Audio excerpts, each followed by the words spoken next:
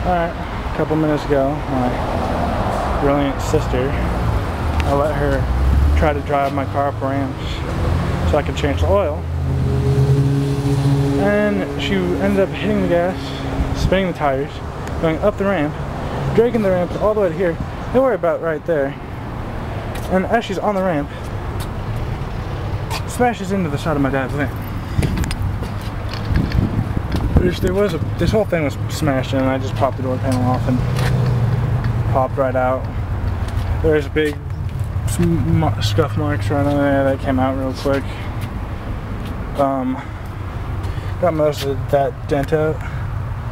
It's no big deal really, whatever. Luckily, I don't know how. Camaro, it's fine. Like, I don't know what the hell. Uh, uh, she ran over, like, I, she didn't run it over, but that went, my bracket went underneath there. Uh, I don't think she'd be able to mess up that much driving a car three feet up a ramp.